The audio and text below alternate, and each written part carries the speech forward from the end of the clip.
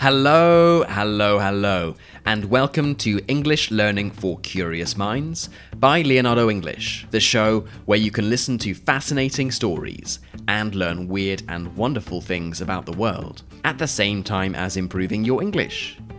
I'm Alistair Budge, and today we are going to be talking about James Bond. Now, you have probably seen some of the movies, you may have read some of the books. But today we are going to go a little bit deeper into the story of this iconic British spy. We'll talk about how James Bond got started and the life and times of the author of the James Bond novels, Ian Fleming. We'll then talk about the films, how not only the James Bond actors have changed over the years and for what reasons, but also the character of James Bond. We'll also talk about the unusual business of James Bond, and how, although it is a huge multinational franchise and its films are shown in countries all over the world, the production is controlled by a small family. It's essentially a family business. And finally, because this is after all a show about English, we'll talk about the language of James Bond, the various different accents he has had, and also how he speaks various foreign languages to different degrees. Okay then, Bond, James Bond. When you hear the name James Bond, a certain image probably comes to mind. For many, it might be a man in a smart tuxedo, a black dinner jacket. He might be sitting at a card table. He might be holding a gun. He might be about to seduce an elegant woman, or about to jump out of an aeroplane. He is undoubtedly handsome, and likely has a certain type of rugged, a rough look, as if he has known danger. The exact image you have in mind probably depends on your age, and is due to the actor who played James Bond when you were growing up.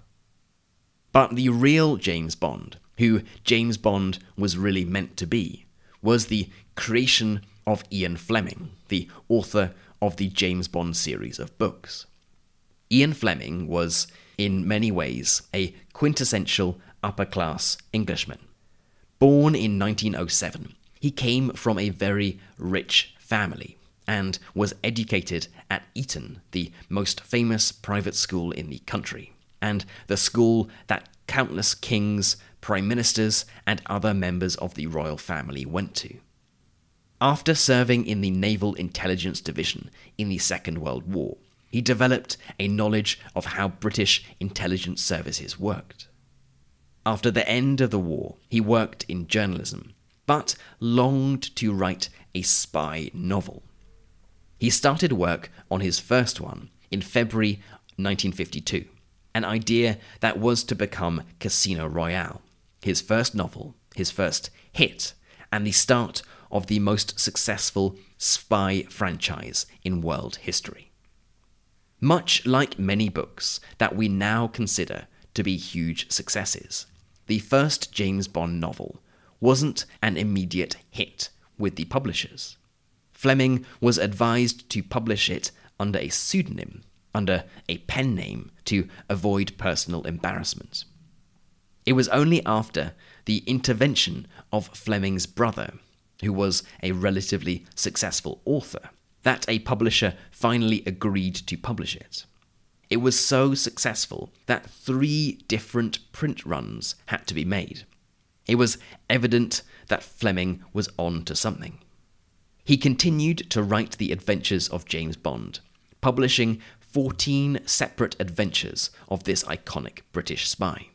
Fleming's creation was, in many ways, very different from the James Bond that you might be imagining from the James Bond films.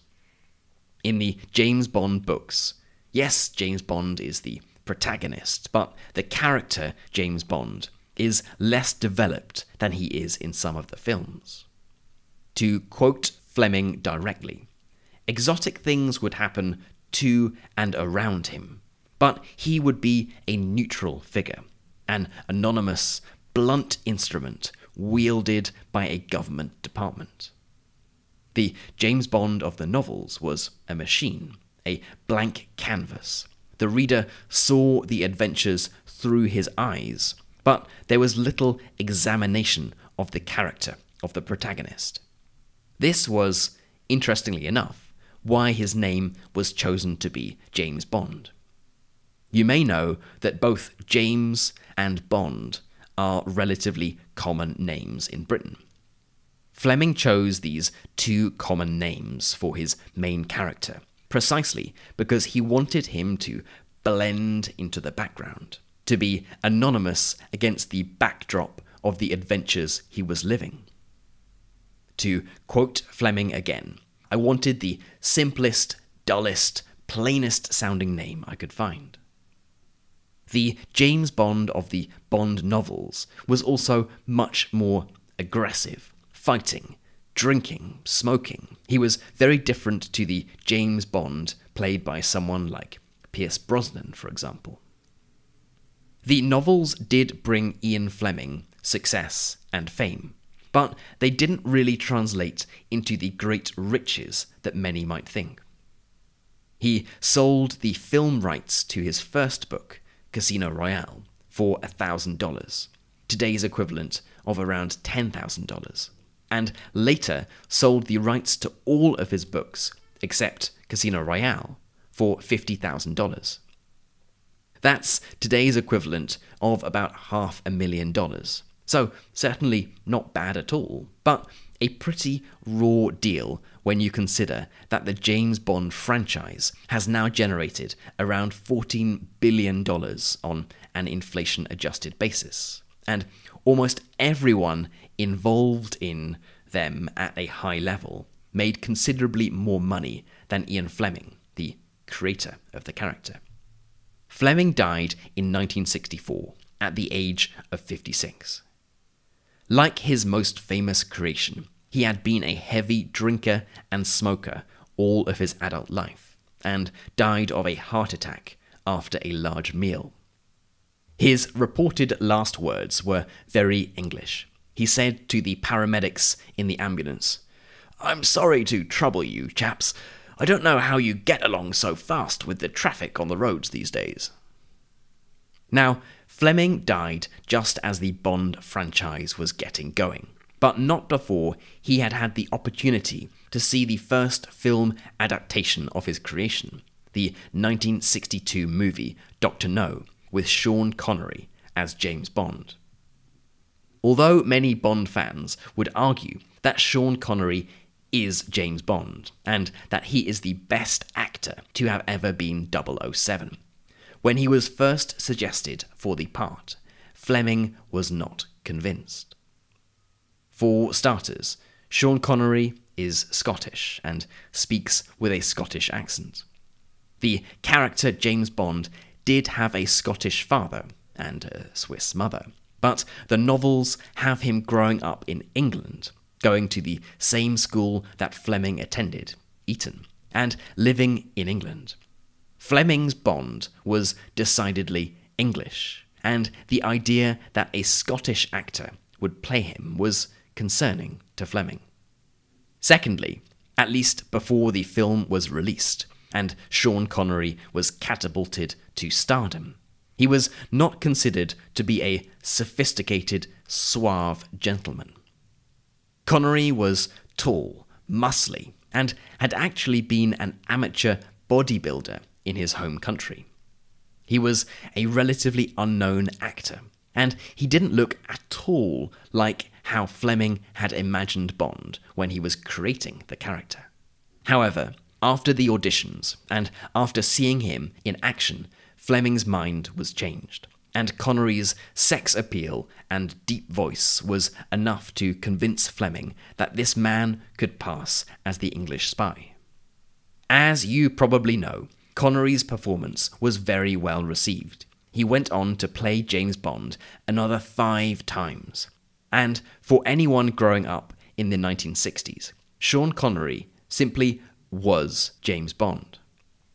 Since Sean Connery, a total of five different actors have played James Bond in the James Bond films, and six actors if you include David Niven, the actor who played James Bond in the TV adaptation of Casino Royale in 1967. They all have their different quirks, their different characteristics, and the actors interpreted the character of James Bond differently. Roger Moore, for example, who played 007 from 1973 until 1985 for a total of seven movies, played a slightly comical, tongue in cheek Bond, one who cracked jokes and was never particularly serious. He was also a much older James Bond. He was 57 during the filming of his last Bond film, A View to a Kill. The Irishman Pierce Brosnan, who played Bond from 1995 to 2002, brought back a slick Bond. But by the final films, critics complained about too much product placement and completely unrealistic special effects. Then there is Daniel Craig, the actor who has played James Bond since Casino Royale in 2006, and whose last Bond film, No Time to Die, was released in autumn of 2021. He was greatly influenced by Sean Connery's performance as Bond, and brought back a complicated character, full of his own demons. Seasoned Bond fans will note I haven't mentioned George Lazenby or Timothy Dalton here, but they only made three films between them, and rarely come top of anyone's list of the greatest or most influential actors to have played James Bond. We can see through the different actors who have played 007 how society and culture has changed over the past 70 years. The initial James Bond character of the novels was a hard living man of the 1950s, with views and behaviour we would probably consider misogynistic and backward. He would smoke up to 70 cigarettes a day. In one book, he was recorded as drinking a total of 45 different alcoholic drinks, and his relationships with women were short, inevitably one sided, and often violent. The early films had characteristics of this James Bond. He smoked, drank a lot, and inevitably encountered a lot of women on his adventures. In the early films, and even up to the 1970s, Bond would make racist remarks, hit women, force himself upon women, and behave in a way that would get him into a lot of trouble today. As this type of behaviour started to become unacceptable, James Bond changed. In 1995, he stopped smoking although he does smoke a cigar in Die Another Day. He has also cut back on the drinking, although those of you who have seen the most recent film might find that hard to believe. He still, of course, has a troubled relationship with women, although the James Bond of the past 25 years does seem capable of more affection than the James Bond of the early 1960s. As a sign of the changing times, James Bond's boss, M, was first a woman in the 1995 film Goldeneye. And there seems to be a very real conversation about whether James Bond, or rather the protagonist in the James Bond films, always needs to be the white man of Ian Fleming's books in the 1950s.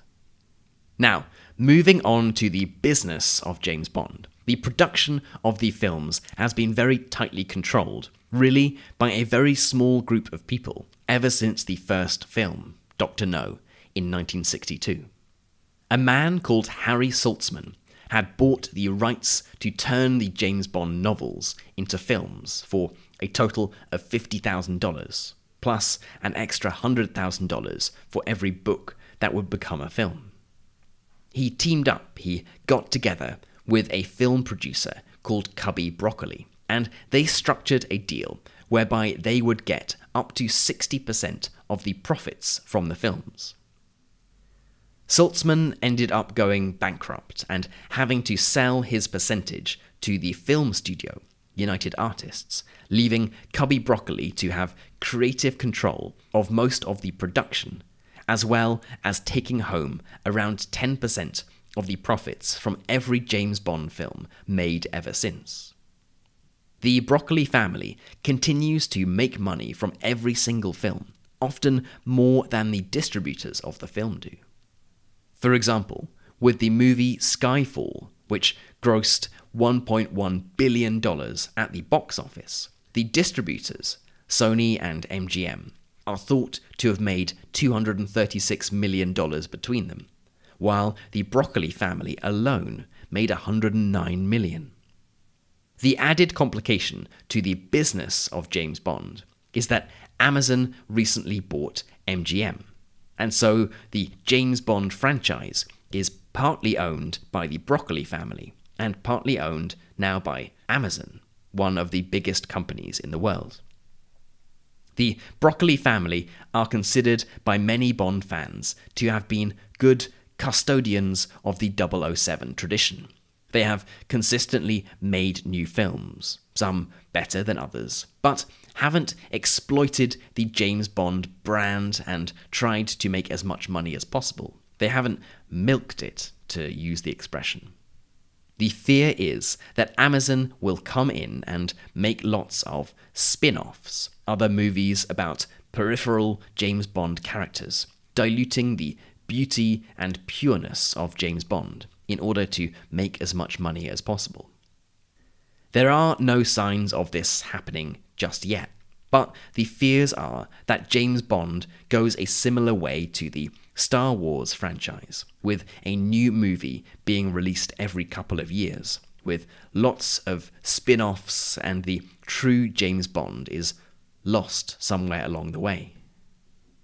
Now, Let's end this exploration by looking at the language of James Bond, and start by listening to some of the unique accents that this character has had. To start, we must listen to Sean Connery, the original James Bond, and a man who grew up in Scotland and has a deep, gravelly voice. You can always recognize Connery's Bond, as he pronounced s as sh. So he would say James instead of James. Let's hear him in the first Bond film, Dr. No. Yes. Tell me, Miss Trench, do you play any other games? I mean, uh, besides chemin de fer. Hmm, golf, amongst other things. More afternoon, then. hmm? Tomorrow? Let's see now. And, uh, we could have dinner afterwards, perhaps? Sounds tempting. Sean Connery tones down his Scottish accent for James Bond. He makes it less evident, and he speaks with a sort of received pronunciation. But you can still hear the slight accent coming out. To help you compare it, here is Sean Connery's real accent. Here's him talking about Bond again. The ingredients are all there for the kind of movie that people want to see. It has, it has very good entertaining value. Uh, for example, it's a spectrum of actors. I mean, from myself to Daniel Craig, who I thought was fantastic, marvelous. Now, Roger Moore, the actor who has played Bond in the most films, has a very different accent. He grew up in London and southern England and spoke with a classic received pronunciation accent. Here's Roger Moore. In my country, Major, the condemned man is usually allowed a final request. Granted. Let's get out of these wet things. And then finally, let's have a listen to Daniel Craig, who also has an English accent, but it is less posh than Roger Moore's. Here's him ordering 007's signature drink. The name's Bond. James Bond. Dry martini. Oui, monsieur. Wait. Three measures of Gordon's, one of vodka, half a measure of Kina Lillet, shake it over rice, and then add a thin slice of lemon peel. And finally, let's not forget that James Bond also has a greater talent than most English people for learning languages. The films and books have him speaking fluent French, Italian, and German, a bit of Russian, Greek, Mandarin, Cantonese, and Spanish. So, along with being certainly the UK's most famous spy, This might make him one of the UK's most talented linguists. But I have to say, his accents aren't that great, or at least the accents that the actors have when they're speaking foreign languages aren't great. Here's a few examples. Guten Tag, kann ich Ihnen helfen? Ja, mein Büro hat ein Auto reserviert. Einen Moment bitte. Dankeschön.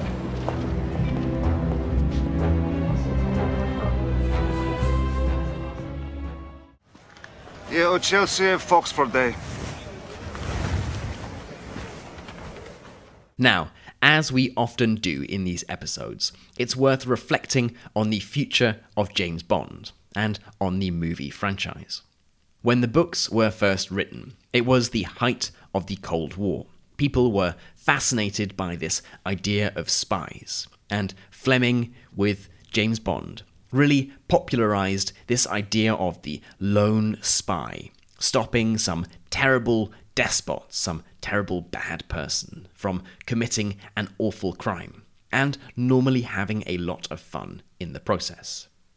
The genre got a little tired at various points, especially towards the end of the Pierce Brosnan era, and it took hard work from Daniel Craig to revive it, making James Bond a complex character with plenty of demons, anxieties, and even neuroses. Instead of having standalone movies, more recent Bond films all link together, more like an extended Netflix series than a standalone movie. Audiences are more demanding now. They do want that complexity of character, and James Bond has had to adapt to the times. No Time to Die was Daniel Craig's last outing as James Bond, and I, for one, am very excited to learn about what will happen in the next chapter of the UK's most famous Secret Service agent. Okay, then, that is it for today's episode on James Bond. I hope it's been an interesting one and that you've learned something new. As always, I would love to know what you thought of this episode. Who is your favourite James Bond and why? And what do you think the future holds for James Bond? For the members among you, you can head right into our community forum, which is at community.leonardoenglish.com, and get chatting away to other curious minds. You've been listening to English Learning for Curious Minds by Leonardo English. I'm Alistair Budge. You stay safe, and I'll catch you in the next episode.